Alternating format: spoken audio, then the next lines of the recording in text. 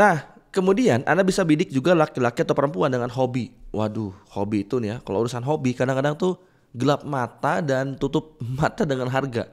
Berapapun harganya, kalau punya duitnya tentu aja ya dalam kata kutip kalau punya duitnya. Bahkan kalau nggak punya duit pun dikumpulin, nabung. Demi apa? Demi hobi.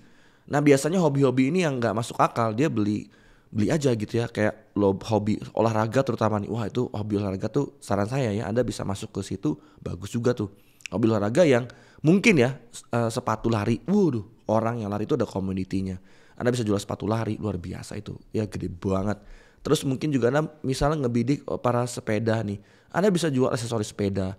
Atau mungkin juga misalnya nih ya anda jual hijab untuk kalau misalnya pasar anda muslim. Muslimah yang pakai hijab gitu ya. Anda jual hijab untuk olahraga. Kan udah ada tuh ya merek brand ya brand lokal kalau nggak salah ya dia jual hijab untuk olahraga. Ini gede banget pasarnya teman-teman ya. Yang jelas perempuan atau laki-laki dengan hobi. Laki-laki nih oh hobinya futsal luar biasa. Futsal ini gede banget. Terus kemudian juga bola kan sama aja ya. Terus kemudian ya tadi dia mungkin sepedahan ya terus mancing uh mancing mania mantap itu orang mancing tuh kadang-kadang sama hobinya tuh kayak lupa gitu ya, lupa sama hal-hal yang lain. Dia senangnya mancing aja. Nah, ada jual produk yang misalnya cocok untuk orang para pemancing gitu ya. Nah, bisa tuh. Terus kemudian juga misal nih kayak produk-produk yang ya hobi lah. Pokoknya hobi ini juga peringkat keempat. Uh, peringkat kelima itu laki-laki atau perempuan pengusaha.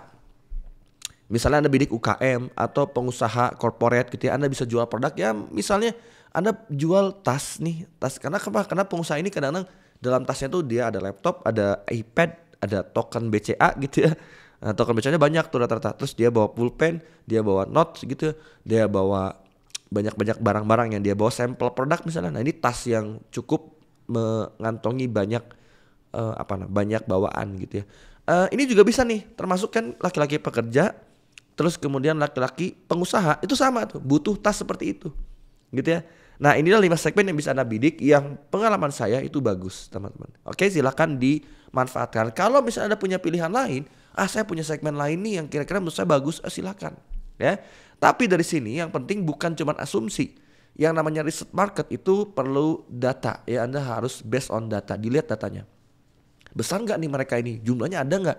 Kalau jumlahnya ada dan besar, itu worth it untuk Anda gunakan data ini ya uh, untuk dijadikan bisnis. Ya misalnya anda bidik perempuan karir oke okay, lihat besar nggak? Ya oke okay, kalau besar ya udah anda bidik aja anda bisa jual sepatunya kayak ya yang banyak dipakai tuh.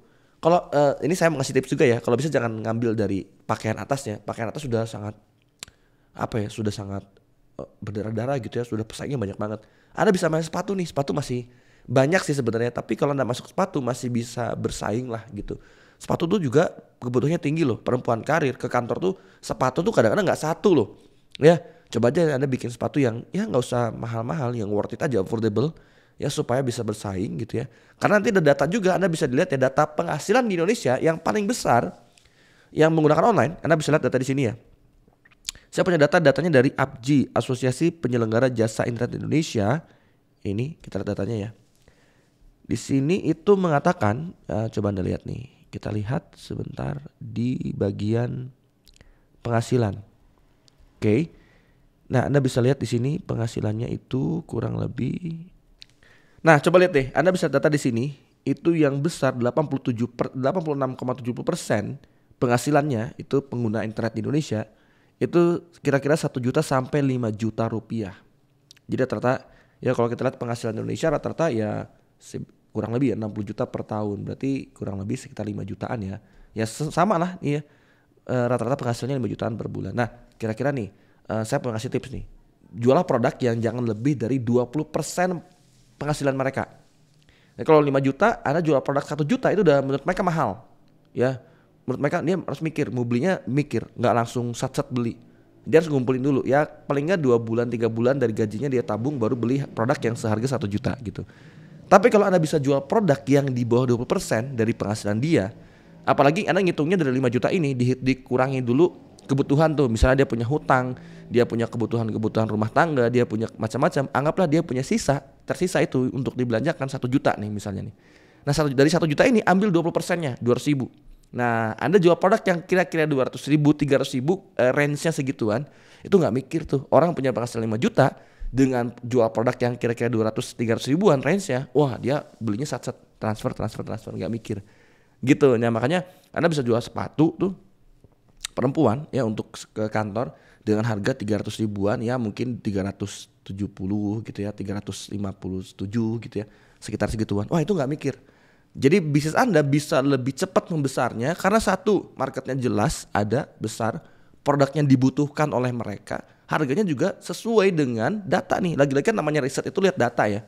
Ini saya dapat data dari mana? Dari APJ, Asosiasi Penyelenggara Jasa Internet Indonesia. Nanti saya bahas ini bagaimana Anda bisa masuk data seperti ini. Saya bahas ya. Silakan terus simak di video ini gitu ya. Oke, okay, next kita masuk ke eh, pembelajaran berikutnya. Oke, okay, teman-teman. Dari lima segmen ini Anda pilih salah satu deh Ya, kalau misalnya Anda sudah mulai bisnis, saya sudah punya bisnisnya nih, saya sudah punya brand, sudah jual produk. Ya sekarang dibalikin, kalau Anda sudah punya produk, nggak masalah juga. Pertanyaannya dibalik, ada nggak sih marketnya?